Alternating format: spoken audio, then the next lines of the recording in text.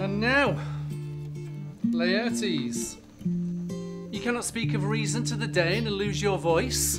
She's gone and found a way out. Give thy thoughts no tongue, nor any unproportioned thought his act.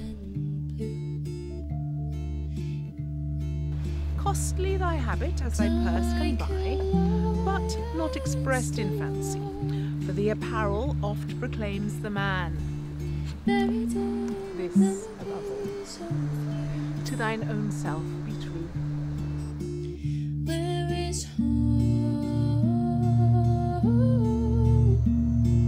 Now you're gone and don't belong. Wish that I could see your face once more.